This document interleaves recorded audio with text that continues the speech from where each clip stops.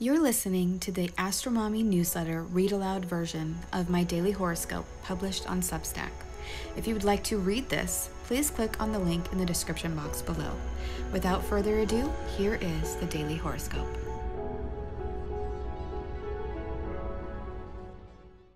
Holding each other in love as we break away from our old skins. Daily horoscope for Wednesday, October 26, 2022. Welcome to the Astromommy newsletter, a daily horoscope that hopes to shine a light in the dark, helping us all see where we've been, where we are, and where we're going. The Astromommy newsletter is a reader supported publication, meaning it only thrives thanks to the generous support of lovely people just like you. Whether you're a first time reader or a long time subscriber, thanks for being here. I truly appreciate you being in my community. I hope you enjoyed today's horoscope and card reading. Blessings. Good morning, friends. I had weird dreams last night, and then I woke up with two songs in my head. Breakaway by Big Pig from Bill and Ted's Excellent Adventure. And the second one I will reveal at the end of the newsletter. But I feel that these two songs are really representative of my own feelings right now, and maybe others can relate to them as well. If you missed yesterday's newsletter, then you didn't hear my stupid news. The catalytic converter was stolen out of our truck the night before yesterday, and so we're in a bit of a pinch financially. So, if you would like to book a reading or buy some items from the family Etsy shop or make a donation, now would be an amazing time. I also offer gift cards, and wouldn't that just make a really fun gift? A gift card for a natal chart reading, a mug, and an astrological pendant? Here are the links to the shop, my booking site, and my donations page. In the spirit of giving, if you make a purchase or donation of any kind or amount over the next two weeks, you will be automatically entered to win a free zodiac pendant of your sun sign. This is only for my Substack community. I will announce the winner of this prize on the full moon on November 8th, 2022. If you have been enjoying the daily horoscope, we could really use the support right now. I really enjoy writing the newsletter and giving astrology readings, and I want to make this a viable business, but it has to make financial sense. I feel that this Mars retrograde in my first house is going to be a lot about that how to make my business make financial sense so that it is a leg of support for my family. I am putting together another special report for the Mars retrograde in Gemini, horoscopes for all 12 signs for my paid subscribers, which will be coming out really soon. Mars goes retrograde at the end of October, so you can expect that report by the end of the month. If you liked the special eclipse report, then you will enjoy this one too. Make sure you upgrade your account so that you don't miss it. Okay, let's get into the astrology. Today could feel really weird. We just had the eclipse yesterday, and it could feel like we are waiting at the top of the lift hill of the roller coaster. It feels a little bit like we're holding our breath right before the brake releases and our passenger car goes flying down the first hill. We may also feel vulnerable and exposed, like an easy target for a big bird to grab and fly away with. So there's a feeling of needing to be hyper aware of our surroundings today. The moon in Scorpio today will break out of the Via Combusta, the burnt path, from 15 degrees of Libra to 15 degrees of Scorpio.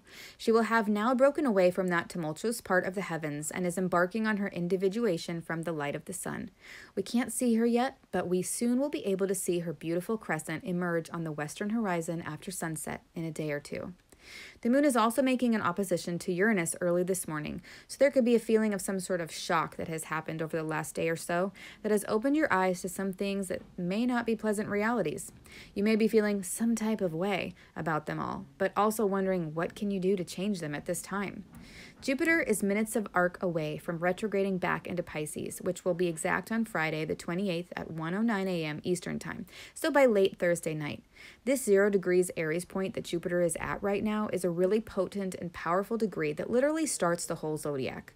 We have the greater benefic, Jupiter here, almost like he is taking in the scene so that when he passes back over this point in his direct motion, he knows what reinforcements aid and help to bring. That won't be for another month and a half, though. Jupiter stations direct at the end of November and then won't hit the zero degrees of Aries until the day before the winter solstice, which is really interesting to have the spring equinox point at zero degrees Aries conjoined by Jupiter on the winter solstice point of the year, when the sun is at its lowest declination in the sky and we have the longest night of the year. It's like Jupiter is going to bring in major reinforcements, hope, and benefic fortitude when we most need it. Also, today, we have Mercury in Libra applying to a trine to Mars and Gemini. This brings up easy conversations and ease with which we can act and make rapid changes to our environment. I think this is a really positive aspect and one that will support some of the things we want to get done today. This aspect gives us smooth and hassle free passage. Thieves will have an easy time doing their bidding. A little side note I drew up a chart for the moment my husband called me about the truck breaking down, and I could clearly see that the truck was in danger because of this aspect, Mercury trine Mars, being only a few degrees away and representing the truck being an easy target for thieves with malicious intent. Maybe I'll make a video about that chart because it's pretty interesting to look at in retrospect. Anyway, the moon will square Saturn today at 11:28 a.m. Eastern Time, and so this could represent an action that you decide to take that is serious. You've had a lot of time to think about things, and now it's time to make a move and commit to them. Make sure that the opportunity that you are committing to is bona fide and not a scam. With the moon having just traveled across the south node, there could be a feeling of desperation and wanting to take whatever opportunity crosses your path.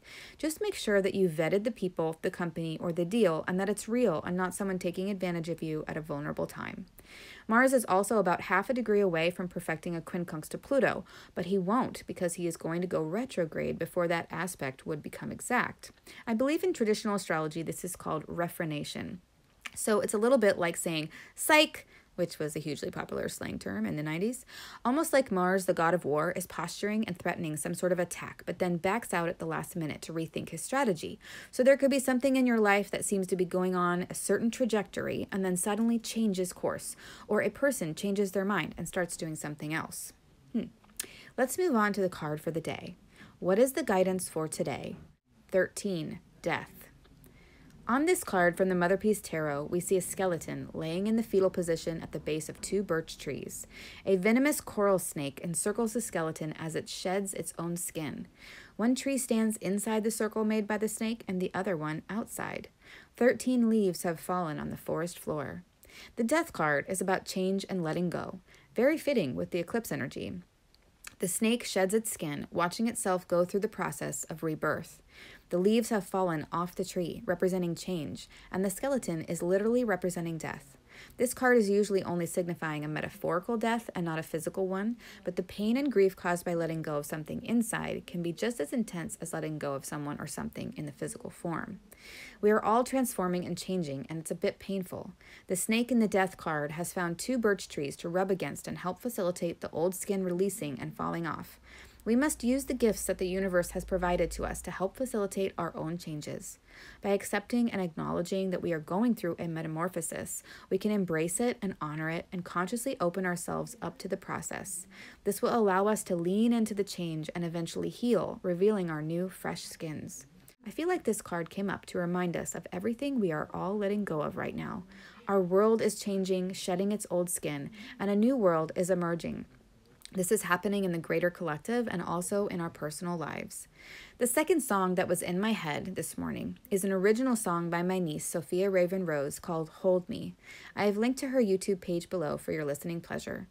I feel like these two songs, Breakaway and Hold Me, are really representative of our feelings right now, wanting to change our destinies but feeling trapped by them, and also wanting to be held by love while we go through it.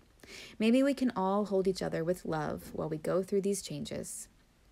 I hope this horoscope and card reading offers something insightful and useful for getting through this vulnerable time. Please let me know in the comments. I hope this is helpful. Until tomorrow, Astromommy. Today's horoscope was brought to you by Moon in Scorpio, Jupiter retrograde in Aries, Mercury trine Mars, Moon square Saturn, and Mars half a degree away from perfecting the quincunx to Pluto. Psych! Quick links and resources can be found at the bottom of the newsletter, including the lyrics to Breakaway.